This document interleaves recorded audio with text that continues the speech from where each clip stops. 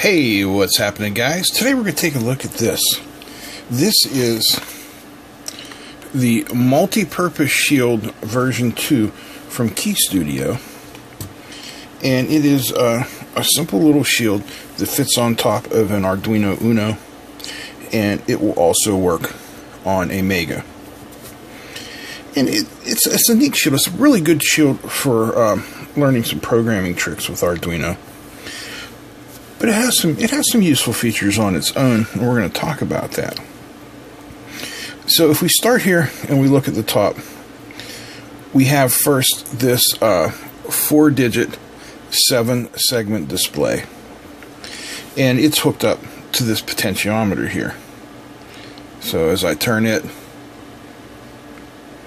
the Arduino is simply reading the value of the potentiometer and it's controlled by two HC595 shift registers.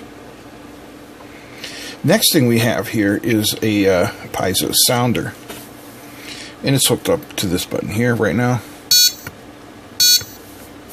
Real simple. Over here we have six surface mount LEDs. Uh, of course, we have the potentiometer that I mentioned, and we have three buttons the first button I have it set to just display some numbers on the screen. The second button beeps the sounder. And the third button does a little LED sequence. Now, the beauty of the shield part of this is that it plugs in to your Uno's pins and it, and it kind of takes them all up. But they have left you uh, some pins that you can use here. For instance, we have digital 7, digital 6, A4, and A5. So that's giving us uh, two analog pins and two digital pins. And what we can do with that is we can attach different sensors here and use them to read these values or, or to uh, display values here or a warning beep or some status here on these LEDs. So this turns out to be uh, kind of a, a, neat little shield. So I thought what we could do is grab a uh, temperature sensor like this one here and we can hook it up to let's say a digital pin 7 right here and we'll have ourselves a simple little uh, temperature readout. Let me get that uh, going and we'll take a look at that. By the way, this uh, shield was sent in with a bunch of other really cool stuff by Greg in Oklahoma. We opened up a bunch of Greg stuff before, so thank you very much, Greg. I really appreciate it. Alright, so we're just going to put some of these uh, female DuPont cables on here like so. There we go. And then we can attach them down here. Let's uh, zoom in and we'll take a closer look. Okay. So, we look at our module here, the pinout we have is green is our signal wire, yellow is our plus 5 volts, and orange is our ground. So, to match up here, we have ground right there. Next in the middle is our 5 volt, and our signal is on the right. So to hook this up to D7, all we need to do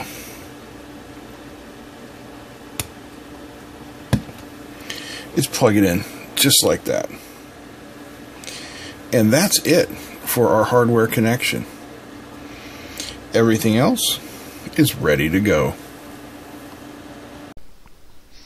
Okay, so to make our DHT11 sensor work with the shield, all I did was add, I don't know, about eight lines total to the sample sketch that you can download from Keystudio. And I will put a link both to where you can download the sample sketch from Keystudio and a link to my modified code here. in the comments down below. So the first thing I did is I added the DHT uh, library. Then I defined what pin we're using, the type of DHT sensor, and then we set up the library. Alright, you with me so far? Then we come down into our setup and we issue a DHT begin command. Now here's the, the main loop of the program. It's just looking for a key press and we're going down to the last one which is uh, the analog reading and all I've done is I've changed this variable here val which used to get a uh, analog read off of A0 to read the DHT temperature sensor and then what it's doing is it's simply dividing it by a thousand hundred ten and uh, basically taking the remainders and that gives us each of our four digits. So really that's all there is to it. So it was at 1,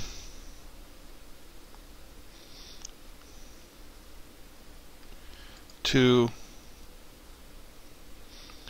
three, four, five, six. So six lines of code is all it takes to add a DHT uh, sensor to your program.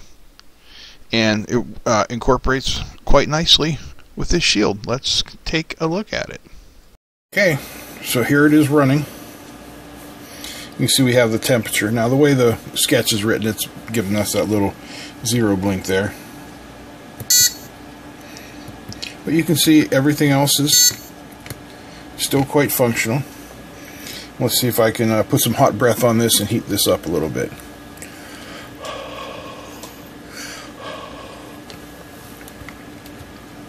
work? Yeah, there we go. So we can be heated up a few degrees. And like you see, here it is super simple. To add a sensor to this shield, you have a built-in display. You know, you could add an alarm sound if you wanted. Real easy. Hey, thanks again to Greg in Oklahoma for sending this out to us. This is a neat little shield, and I'll put a link down below to uh, where you can get one of your own. Alright, that's it. I hope you guys enjoyed this video. If you did, please give me a thumbs up. Feel free to comment and share, and don't forget to subscribe. Big thanks to all my patrons. Big thanks to you guys for watching. That's it. I'm out. Peace.